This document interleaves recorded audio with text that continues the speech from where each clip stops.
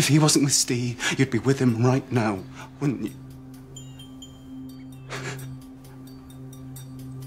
Take that as a yes.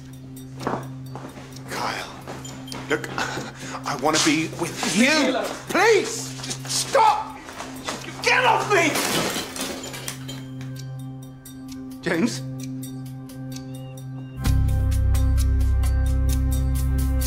James?